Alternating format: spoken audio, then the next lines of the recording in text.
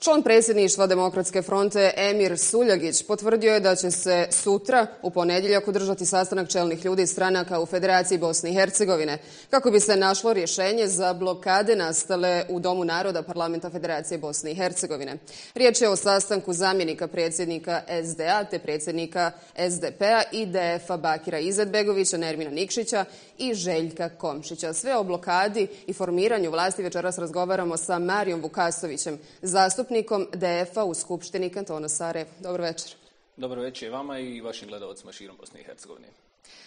Evo upravo smo e, čuli ova, ovu vijest koja je stigla, koju je Emir Suljegić potvrdio da će se sutra na ime održati taj sastanak. Da li će se konačno onda pokrenuti formiranje vlasti, ova blokada koja već traje dvije sedmice? E, da, prema informacijama kojim ja raspolažem, e, sutra će biti održan sastanak između e, čelnika SDP-a, DF-a i SDA. Ja se iskreno nadam da će sutra doći do konačnog rješenja da ćemo u toku ove sedmice odblokirati taj proces formiranja vlasti u Federaciji Bosne i Hercegovine. Lično mislim da nikom je na kraju nije u interesu da se ta blokada nastavi pogotovo mislim da to nije u interesu isto tako ni, ni SDP-a, prvo što mislim da bi oni podrškom formiranju vlasti pokazali da oni stvarno jesu principijalni i da oni stvarno jesu konstruktivni i da će oni znači logički i da će doprinijeti uh, uspostav uh, formiranja vlasti. Isto tako uh, imamo izjavu predsjednika Komšića koji je rekao da će Demokratska fronta još ove sedmice dati priliku formiranju vlasti. Ukoliko se to ne desi, mi ćemo se povući. Da, Komšić je rekao, može to i bez da, nas, bitno je samo da se pokrene to. Da, a onda odgovornost za formiranje, odnosno za, za izbor podpredsjednika iz reda srpskog naroda pre, prelazi znači, na, na SDP. Mislim da to njima nijekom slučaju nije u interesu, jer onda neće imati nikakvog E, drugog izvora nego da, da, da direktno učestvuju u toj formiranju. E sad, zbog čega je ova cijela blokada po mišljenju uh, čelnih ljudi u stranci DF? Uh, pa mi, mi mislimo da se iza uh, izjava o principijelnosti i, i, i, i za te lažne konstruktivnosti mm -hmm. u stvari krije uh, može i određeno likovanje u odnosu na e, naš ulazak u vlast, u smislu da se prebacuje da mi imamo kapacitet da, da djelujemo u sklopu te vlasti. Ja bih samo naglasio da demokratska fronta nije bila ta koja je potrčala u vlast u tom smislu. Mi smo pozvani da učestvujemo u formiranju vlasti od strane izbornih pobjednika, u ovom slučaju e, stranke demokratske akcije i da smo mi e, po striktno našim principima e, koje imamo pristali po tim uslovima da, da pokušamo znači, nešto stvarno uraditi za ovu državu, jer e, ono što bi sada bilo stvarno pogubno i naj, najgore jeste da demokratska fronta izađe iz ove priče, jer to ni, sigurno ne bi nikom je donijelo dobro. Da. E, naime, danas e, smo imali priliku čuti i mišljenja predsjednika HDZ-a, Dragana Čovića, koji tvrdi da nema ravnopravnosti za hrvatski narod u Federaciji Bosne i Hercegovine i kantonima zbog izbornog zakona i ustraja istih tih navedenih. On je najavio i neke promjene. E, da li su sada te najavljene promjene zapravo i sam problem pri formiranju vlasti? E, ja ne vidim da, da te promjene mogu biti prepreka formiranju vlasti u federaciji gospodin Čović iznio svoje stavove, Demokratska fronta je od ranije iznijela svoje stavove kada je u pitanju formiranje vlasti uh, i ne mogu uopšte da nađem neku povezicu između uh, odabira potpredsjednika iz reda srpskog naroda i eventualnih zahtjeva gospodina Čovića. Da. A šta je stao sa vlasti na nivou Bosne i Hercegovine?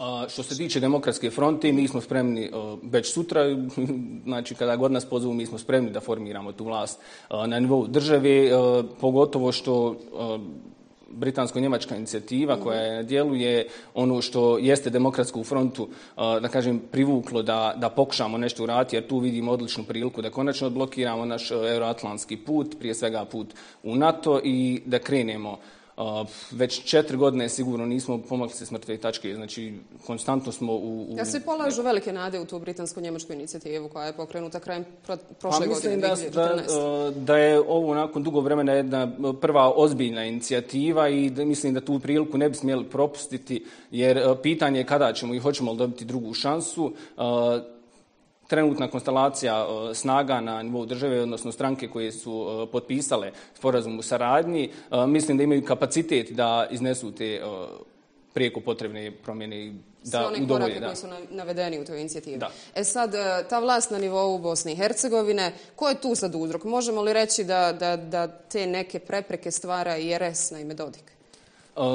Pa, mislim da Dodik nije tu faktor koji, koji utiče Uh, ili koji je prepreka na državnom nivou, jer uh, i bez SNSD-a uh, stranke imaju većinu i kao što sam rekao, demokratska fronta je najspremnija bila u stvari i najbrže, e, za po našem mišljenju, mogla formirati ta vlast na državnom e, nivou, odnosno na sve osnovne nivoje, jer smo imali tačno e, razrađen koncept i imamo tačno razrađene principe i mislim da već na prvim sjednicama nakon formiranja se može pokazati, mogu pokazati konkretni rezultati. Današnji ovi naslovi koji su izlazili u medijima, razilaze li se DF i SDA? Pa ja ovako mogu govoriti najviše iz uh, ugla uh, zastupnika u Skupštini kantona Sarajevo i kao član, jedan članova pregovaračkog tima u, u kantonu.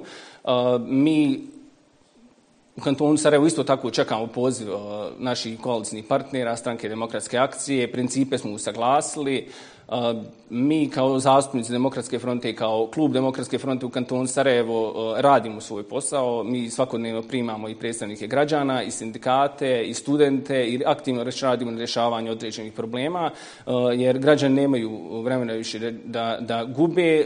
Imamo, vidjeli smo da je i tranša MMF-a otkazana i mislim da je to moglo biti stvarno pogubno. Da, 119 miliona ili tako u pitanju? mislim da je riječ o sedmoj tranši 19 miliona 19, i da. da tako da to bi moglo dovesti u pitanje i isplatu uh, i plata i drugih uh, budžetskih izdataka kao što su boračke naknade i tako dalje. Hvala puno na ovom gostovanju. Nadam se da će sutrašnji sastanak iznjediti nešto dobro i da ćemo napokon formirati i taj dom naroda. Uh, hvala i vama. Ja se iskreno nadam i mislim da će to biti riješeno u toku ove sedmice na zadovoljstvo svi u nas. Hvala puno još jednom. Hvala vam.